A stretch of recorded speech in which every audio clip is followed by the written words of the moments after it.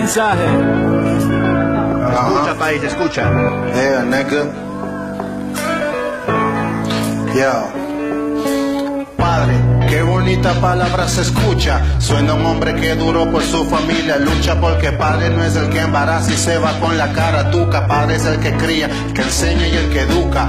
Padre no es el que paga el juicio de alimento. Es el que cuando su hijo llora calma su lamento. No es el que hace que la chica sea madre. Padre es el hombre que por su hijo se hace responsable. Y tal vez esto a muchos no les cuadre, pero si eres padre, procura ser un buen padre. Imagina que eres tu hijo y por ende tienes un padre que nunca te visita, pues sin ti la pasa suave. Pues esté enamorado y no de tu madre en verdad, sino de una chica que tiene un hijo de tu edad. Qué casualidad. La diferencia es que él tiene la oportunidad de compartir con tu papá el tiempo que a ti no te da. Y no digas que para visitar a tu hijo no tiene ni un segundo, que yo sé que para hacerlo te diste todo el tiempo del mundo. ¿Cómo está tu hija?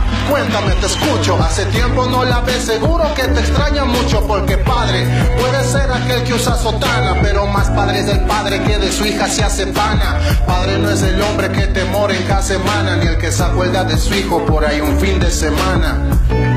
El que dice que ser padre facilito está loquito, porque ser padre es duro, pero es lo más bonito. Y por eso, yeah.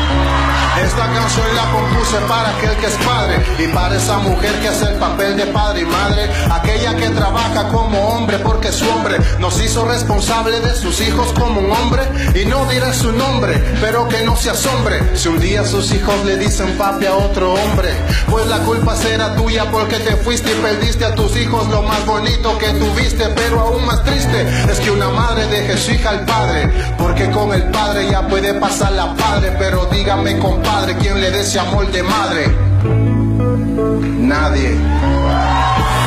Si los